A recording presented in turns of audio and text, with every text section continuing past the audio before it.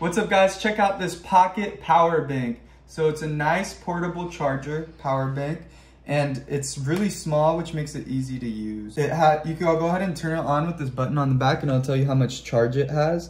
You could also always charge this up right here. It comes with the charger inside of the box. So we're gonna go ahead and show you guys that right now. See, it's just a normal USB charger, charge it up. And then it's really easy to use. You just uncap this, plug it into your iPhone, and now it's charging. And what's really cool about this thing is that it also charges Android devices. So it has another little cable right here.